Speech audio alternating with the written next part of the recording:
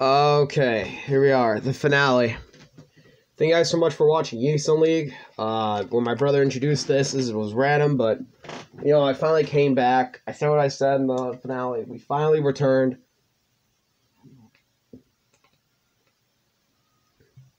And we gave it our best effort. I think I honestly did a good job. Uh, even though it wasn't all that great, I didn't get to finish the story mode. That's okay. I, I tried my best.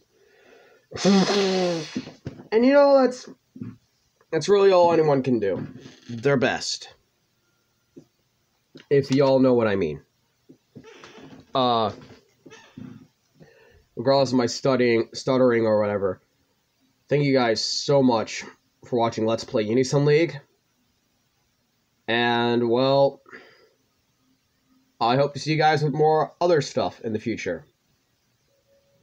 Me returning to other stuff. Doing other things. Well, whatever comes, comes. It just shows up. Alright, bye guys.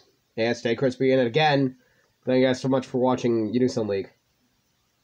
Bye everybody. Dry is dry. And stay crispy.